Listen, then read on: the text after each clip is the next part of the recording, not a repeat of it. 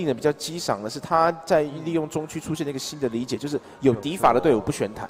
对，然后有敌法队伍不选坦的情况下，他就是反而用一些非常暴力，就是以攻击来取，就也不要说防御了，就是就是把你赶在自己倒下之前先把你杀掉就对啦。对，好的，那么这边双方稍微交换位一下，这样子的话，在字卡上面可能会比较正确。那这边双方再次由裁判来确认一下。对，然后其实可以从我们非常锐利的眼睛看出，他们已经进入选角的画面啦。对，这边可以看到，刚刚应该是我们的吉出还偷瞄了一下摄影机。哎呦，对，可以稍微用一下小鹿的魅惑。对，不过我们这边还是尽量不要干扰两位选手，毕竟是冠亚军，这是五万块跟十万块的一个争夺战，也是一个荣耀的荣耀的争夺啊。好，选手们准备好了没？这一边马上的可以看到，其实我们的高雄的观众蛮热情的，因为其实刚刚好就在博尔特区附近，所以不断的会有一些就算是没有玩刀塔的朋友，也会走进来看一下。说，哎，原来刀塔有办这些活动，那赶紧来下载这个游戏，好好的来玩一下，到底是怎样的游戏？冠军可以达到我们五百万的赛事这样子。好的，这边张浩的选择的是游侠小黑一个控场的起手式，而击出有没有机会再拿出他一个敌法不带坦的一个 一个比较先进的理解？哎呦。这边在选，有两只英雄可以选，是十五秒。这边在选择一个，难道要先用召唤师？哦，没有法系修补匠。哦，已经剩下九秒，已经快来不及了。剩下最后的，哇，巫妖登场啦！这边急出转走传统法系，而彰化人会不会传统的控制流呢？这边选择那家还要再看，再选。好。那这边再稍微讲一下，其实我们现在目前的这场赛事是我们的十万块跟五万块现场，到底是会有哪一位玩家能够顺利的带回家？对，各位正在收看的是台港澳巅峰竞技刀塔传奇在南区的一个冠亚军赛。如果你之前的比赛都没有看到，没有关系，今天你只要看这一场就指挥票价了。对，因为这是这毕竟是我们的最后的压轴了嘛。嗯，好的，这边果然是传统，提出是一个传统的。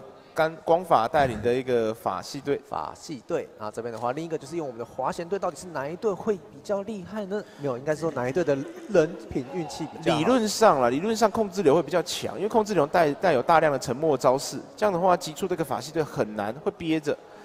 哎呦，最后把双头龙收服了哦，放上了白虎。这个就是要先把熊猫秒掉，这个是不错的一个想法。因为人马搭配白虎会有非常好的开场的站位，然后外加我们的熊猫都会被晕在那里，任由人家的对屌图打。他是故意最后一位才选白虎，所以其实熊猫如果先秒掉的话，其实整个中排的一个控制技能不知道放不放得出来。可以看到熊猫血量马上。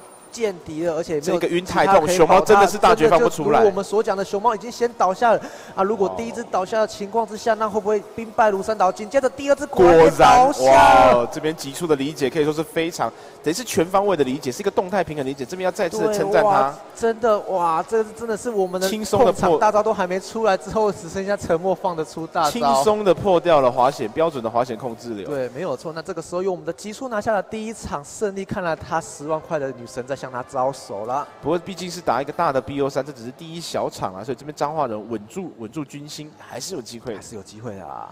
那这边我们可以注意到，其实我们整个战略的一个进化也来到了一个点。对，就白玩家会去分析说，哎，我不太清楚，那我就干脆把一只换成白虎来提升我开场的优势。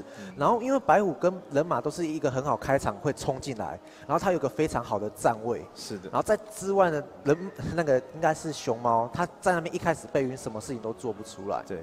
哎，其实这边吉出真的是神来一笔，他在最后他本来要打标准的法系队，最后把最后一个双头龙的位置换给了白虎。对，正这个正是正是我们所谓说的，就是我们随机应变的能力啦。好的，那这一边吉出三只蓝色的角色，双方都是比赛国家队吗？蓝蓝蓝对上红红，那是红吗？不确定。呃，剑圣是红的啦，那盛唐刺客这个就是有一点有金色的感觉，哎呦，奢华的感觉。嗯，好，这边选的是我们的剑圣搭配我们的迪法师。那你可以注意到彰化人是一个不知道会不会是标准的哦，没有也没有标准，但恶魔巫师，而吉出是多一个乐器的比赛国家队。哇，因为其实乐器跟我们的小黑都有带来大量的物理攻击力增加，然后导致说我们的剑圣跟迪法师在前期能够造成非常大量的输出。嗯，他就是不成功变成人的战术啦。好的，在这一边一个进场双方都有，不过这边吉出没有暗幕。对对，那变成说其实因为攻击力有被加持情况下，他吸血吸的比较多，但是他吸得回来吗？我大招如果没有开出来的话，非常的损失哦。哇，这边击出的敌法没开到大招。好，那这时候月旗开大啦，然后哇，恶魔巫师大招有电到剑圣直接破口，这边这一场。可是刚刚我们的圣堂拿到人头，他人头马上能量加了三百，大第二次的大绝会不会再收掉恶魔巫师？恶魔巫师收掉，但是这一边我们的暗木来做补血，另一个盛唐也要开大了，天呐！这边是一个盛唐 PK 秀啊。对，如果这个时候我们盛唐没有拿下胜利的话，会有我们的吉出拿下一个大点大分的。哎，可是盛唐又出了大招。双方的圣堂不断的在做交换，拿人啊、彰化人的死棋掉喽。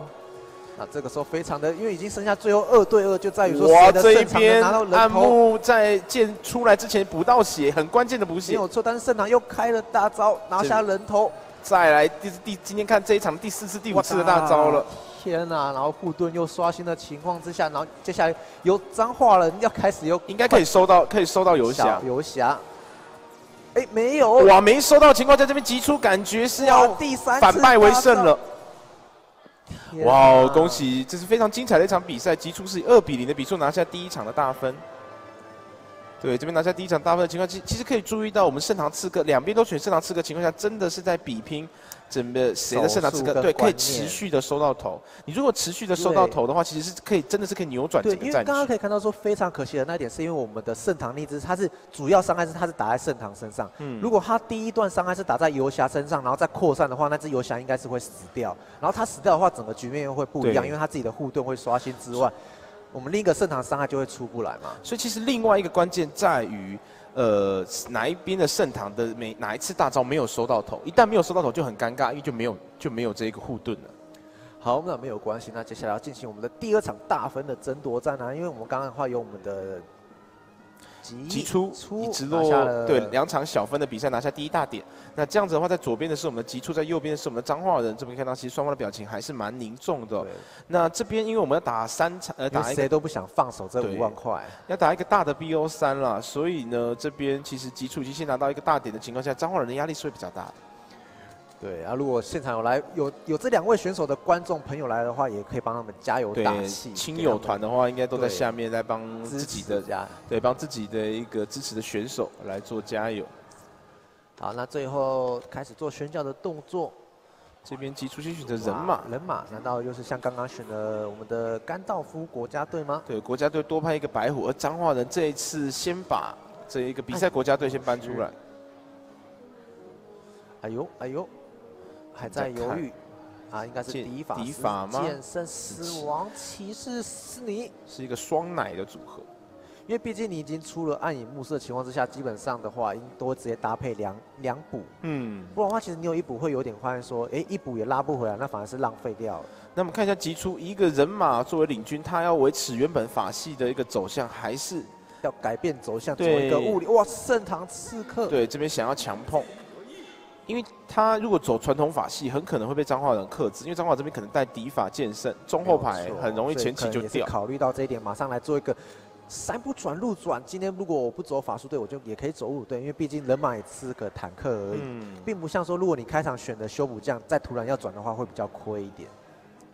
好的，那这边我们可以看到彰化人。暗木圣堂刺客，对，那其实他这队感觉也是他非常爱用的队伍。我觉得最后是有用我们的恶魔巫师这样子。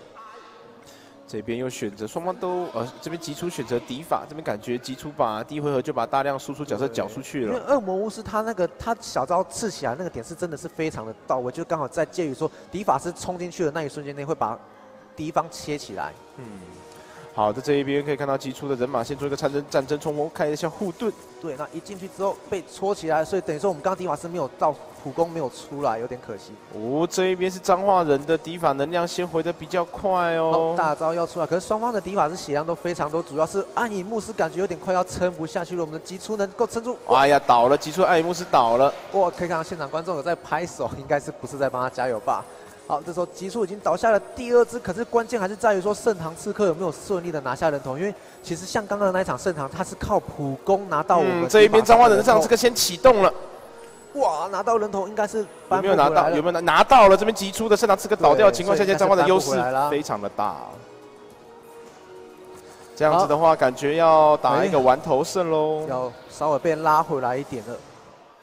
好的，这边恭喜彰化人在第二大局的第一小场比赛呢拿下比赛获胜，而且是五比零。对，而且他这样的话等于说他是稍微喘了一口气，因为如果刚刚有急出拿下胜利的话，比赛的状况会变成说急出只要再拿下一场胜利，他就是我们今天的冠军了。对，这边可以说是喘一口气啊，慢慢的把这个气势扳回来，因为刚刚的第一个大分是急出所拿下来的。对，那主要是在战斗中还是希望选手们临危不乱，然后主。重那个仔细的分析战场的变化，这样子。对，这边再次宣传一下，你现在正在收看的是《刀塔传奇》台港澳巅峰之际，在南区南区的冠亚军最顶尖的南区两位最顶尖的选手的一个精彩对决。精彩，钱给你，赶快做，有钱能使鬼搓磨。对，搓磨是不是？不是推磨吗？哦，是这样子吗？好，我们可以看到，吉柱这边是梅杜莎加上恶魔巫师，而彰化的这边是比较偏传统法系。好。还有两个位置啊，基础没有关系。这边在选，还没坦还没有出来。对啊，但是如果这个时候这一场由我们彰化人真的如果顺利的拿下第一分扳回来的话，那其实我们战况会变得相当的紧绷，很焦灼，就会进入到第三大分的一个节奏。好的，那这边彰化人是真的是比较传统法系了，没有错。甘道夫的一个魔界队。但是吉出这边有沉默又有梅杜莎的情况下，彰化人的压力还是挺大的哦。没有错。那最后会选谁呢？会不会选？没错，选游侠，因为其实游侠的第三招就带有沉默，等于说他一开始大概在开场不到十秒钟，他马上就会放出沉默。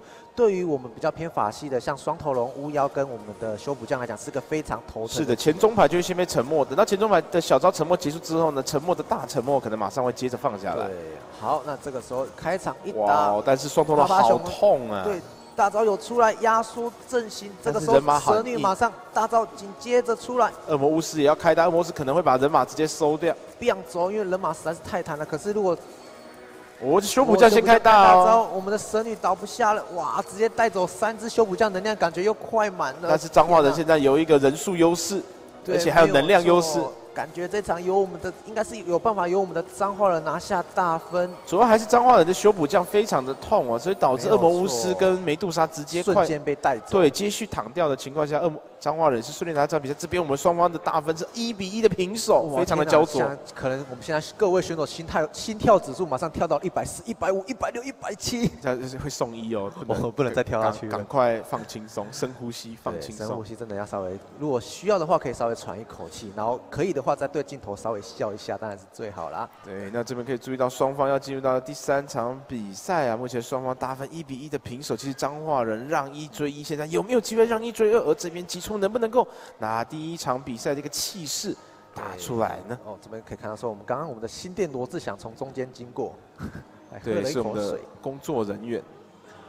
好的，那这边双方可以看得出来，表情还是也不知道是紧张还是非常的沉重，因为他们就是真的是他们非常重视这一场比赛，只能这样讲。那的确，这个也可以说是明年电玩展的一个决赛的前哨战了。即便这四位选手，包括画面中这两对都拿到门票了，但是我想，毕竟是差五万块的奖金。如果说机电军差五千块，我就算了。对啊，我自由练兵就算了。这个差五万块，我觉得一定还是很认真在打。这样子。应该说，他如果拿到这五万，可能就少上一个月、两个月的班的这样子。对啊，这个我想钱这种东西是不嫌多的，说不定到时候过年的压岁钱就有着落了。嗯，就哎，我又有一笔奖金啊。好的，那这边吉出是先攻，我们看一下吉出的先手会选择哪一支英雄？对，因为其实到这这种情况下，他第一支英雄非常的关键。如果他选的是比较偏法系或偏物理的话，等于说是在告诉对手，我打算走这一个取向。嗯，所以变成说他的第一支英雄会选择哪些来做变化呢？我一开始就花了十五秒钟在做思考的动作。然后虽然十秒钟应该是选人马或者是哦敌法，难道吉出要拿出他拿手的一个不带坦克的一个敌法的一个打法？对，而且听说他使用到现在感觉都好像还没输过，效果很好哦。还是脏话的起手就是来个控制流，你喜欢不打坦是吧？那我就控死你。但是如果急出打一个不带坦的一个控制流，其实输出很高，甚至是如果脏话人又摆出熊猫，会不会又出现白虎的一个晕剑来克制你？这是可以观察的。没有错，这边可以讲到说，如果拿敌法当头的话，最怕就是一开始人家用月神剑把你的哦，这个有坦晕在那里。对。可是站位来讲，还是由我们的迪法师稍微站的前面一点。哦，修补匠，这是个混混伤流。难道最后一场他竟然打算四角色？不会吧？但是其实他再补一个白虎，还是可以把这个熊猫秒掉。哎呦，很难讲哦。那如果他补了熊啊白白虎，那脏话人就要想，那我要不要再补一个竹坦？不然熊猫会瞬间被秒杀，然后中牌被切。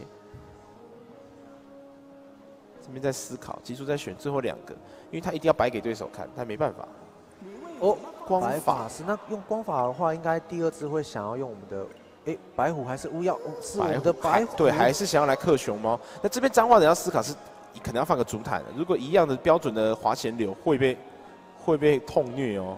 没有错，这个熊猫可能很快就翻船了。毕竟如果被单体突破的话，是真的是真的会非常的尴尬。再选择中牌，还是传统的控制流，不信再来试一次。因为其实其实极初算有选。光法跟白虎，但是前前中排的配对跟上上一个大分比较不一样。没有错，那这边就看一下月神剑，好出来穿云剑，先来晕一下，拍拍熊打一下。马上血量已经被打到快一半了，然后又被致盲的情况之下，基本上攻击哦有都有出来。不过这次打在熊猫身上的暴击好像比较少，而且击出的敌法的闪避并不是那么的理想。熊猫的大绝应该是开得出来的。哦，这边感觉脏话人熊猫大学修补将大招有拿到人头吗？哇，有拿到熊猫。这个时候我们的。大家海妖已经开始要做控场的动作了。这边一旦开始控场，急出就只剩下物理伤害，甚至是可能在睡眠的时候连伤害都没有，被石化。被石化，等于说我们的动感光波一下子就出去。但是待会只要光法的大绝哦打不出来，因为被沉默。对，非常的可惜，因为毕竟我们控场流就是这样子，就是你如果有大招情况下，就是一直控场控到对手完全只能闷不吭声的被你这样子屠打这样子。这样子的话，游侠小黑一旦开出大绝，急出相当不妙。哇哇，这边脏话人难道要让一追二吗？这边已经脏话人，脏话人赢了一小场，所以来到脏话人的一个赛末点了。对，所以等于说，其实脏话人在第二场的话，他一定会很想拿出自己心目中最强的一个队伍，就赶快四步一次，那直接直落二拿下我们今天的冠军，有没有？有没有机会让一追二呢？这边急出的压力已经来到急出身上了。我修补将是要走一个我们非常强大的法术流，那我们急出到底是会以怎样的队伍来做应变？嗯，修补将可能是一个传统法系，那急出这边可能包括传统克制法系沉默啊、敌法是可以考虑放出来，而且压力也会比较大，因为他不能再输了。好的，死骑，死亡骑士。那死亡骑士的第四招有全体魔抗、魔魔伤减伤的那个效果嘛？这边起初感觉要打比。比赛国家队，好，而彰化人这边还是比较偏法系，这边哇，就感觉打到后面都是这些队伍，然后再比说看谁的运气比较好。嗯，可是打到后面等于说会有一些玩家会把它穿插一只白虎进来。对，而且这边放了双头的话，极速如果要选圣堂刺客，就要考虑双头可能会不断的偷烧你，偷烧你的中排后排。可是毕竟我们极速它有用我们的死亡骑士跟暗影牧师。就是比起一些我们比较偏输出的话，它还圣唐是有被保护的。对，圣唐被保的几率也是蛮高的，所以这边还是选择圣唐。那有没有敌法呢？敌法已经用过了，所以选择剑圣。所以最后一个位置，到底要选谁？面对一个非常强大的法术伤害的阵容，那急出的最后一只角色，他到底会选谁来应战？是不是熊猫还是控场的牛？很难讲哦。嗯，那这一边脏话的正是传统法系。这边已经来到彰化人的赛末点，加强前面的坦度。对，挤出绝对不能再输这场比赛，这场比赛再输就要跟十万块说拜拜。他就打算用人马加强坦度之外，中间就靠我们的死亡骑士加暗影牧师来做最后有没有办法把圣堂撑到最后面这样？对，关键是圣堂。还有暗木跟死刑能不能可以看到说圣堂被烧是真的非常的痛。对，而且重点是你被持续的烧，其实是不给圣堂能量。对，你要被突然打到一下才是会有能量。好，这时候巫妖已经开到大招，但是巫妖大招喷出来，如果这时候圣堂倒下的话，哇，修补在开大，这谁受得了？但是圣堂来喽，出来了。可是他那血量如果被猫一下，可能会死掉。但是他只要收到头，他就有护盾。哦，哇，这边圣堂 solo 秀感觉要开始。法师收到头，可他那血量是真的非常的危险。死亡骑士跟暗影牧师在死之前都想要把圣圣堂又有大，圣堂又有大，这边要靠圣堂逆转。哦，没有，这边挤出五只都活着。哇天啊！就像刚刚讲的，就是他最后选用人马是打算说来靠一个，就是我用三只来保你圣堂开大招。对，各位一定要打的这么刺激吗？我们要马上进入到第三场比赛的最后一场小点。对，所以等于说再来的这一场当中，谁只要获胜，谁就能够获得十万块。哇，我们的中区跟南区的比赛真的打的是非常的焦灼，非常的激烈。现在极速跟彰化人可以说是谁也不让谁，谁都拿下一个大分，一个一小分。待会的这场战斗，谁都不能犯下一个致命的错误。你可能稍微一个犹豫，一个尴尬的，对，就没了。对，瞬间蒸发八万钻这样子，八万块，八万钻这样，五万块八万钻。好了，这边极速要打一个控制流，而彰化人是一个比赛国家队。哦，这边的话等于说两方的立场感觉有点倒过来。嗯，的确，盛唐他是提出要不要选一些针对盛唐的角色，包括双头龙，包括一些可以对中后排。都先做输出的。刚刚可以看得出来，我们刚刚的话其实双头龙效果不错，可是就差在说它后段伤害不足，导致说盛唐血量被拉回来，又顺利开到大招。对，这边技术真的要打出标准的滑险队。那张化人这也是标准的比赛国家队吧？没有，是恶魔巫师也是他爱用的。巫师最爱用的这一队。对，恶魔巫师多一个控场，他虽然比没有剑圣的一个平均输出高，但是有多一个控场。可是其实恶魔我刚讲过有讲过几次，其实恶魔巫师搭配敌法是非常不错的不错的组合。搭配说敌法冲进去的那一瞬间内，会敌方全部会被刺起来，敌法有时间做输出。好，这边敌方先敌法往后跳，这边关键在于沉默在放大前会不会死。没有错，哇，这边敌反的血量很多，哇，大招开出来，我们沉默跟我们梅杜莎血量非常的危险，但是有开到大，但是梅梅杜莎，梅杜莎可能被迫要往后喷了，很尴尬。梅杜莎完全不知道该怎么办，自己也不知道要大招该。哇，梅杜莎倒了，这边脏话的优势会越来越大。对他已经看到了十万块，难道十万块由我们的脏话人拿下来了吗？起初表示五万块离我远去啊。对，因为我们的盛唐刺客已经蓄势待发，已经准备要开大招来。我们的脏话人要让一追二的盛唐刺客会不会来一个华丽的收尾？对，然后最后被我们暗影牧师稍微拉回来一点，那最后盛唐哦哇大招二连发，天两万一这个伤害你敢相信吗？这个可能只有人马可以扛得住这个血量。对，然后这时候最后就要由我们的盛唐刺客来做个非常漂亮的收头，十万块我拿走了。对。恭喜我们的彰化人让一追二拿下了我们这一次的南区冠军，但是这一边的集出表现也非常的好，拿下了亚军，也有五万块的一个奖金。哇，他们真的是打完之后可以看得出来，他们真的是表情完全都变了，松了一口气。可以看到这边彰化人非常开心哦。对，真是爽到不行啦！那等一下，待会儿的话就是进行我们的颁奖嘛。对，那在颁奖典礼之外，如果各位是我们的现场的在看我们的直播台的选手，呃，在看直播台观众也先不要离开，因为在颁奖典礼其实也会有我们最后的二八八钻的一个抽奖，就赶快在我们的聊天室输入我们的“刀塔传奇”四个字，就能顺利的来参加我们的聊天室抽奖活动。那我们今天南区的一个台港澳的巅峰竞技场的一个比赛到此转播告一个段落，而且比我们中区还要顺利，还要快。对，这边也是再次的谢谢港米陪我们讲了一整天的比赛。不会啊，多喝水，没事。没事，多喝水就可以了。对，那接下来我们要关注就是明年包括港澳区的预选赛，还有最精彩的电玩展的一个总决赛了。好的，那我们我是今天的主播九妹，我们这一次的那个南区的比赛转播到此盖头，谢谢大家的收看，我们就呃明年的这个港澳赛见喽。收看哦，对，拜拜。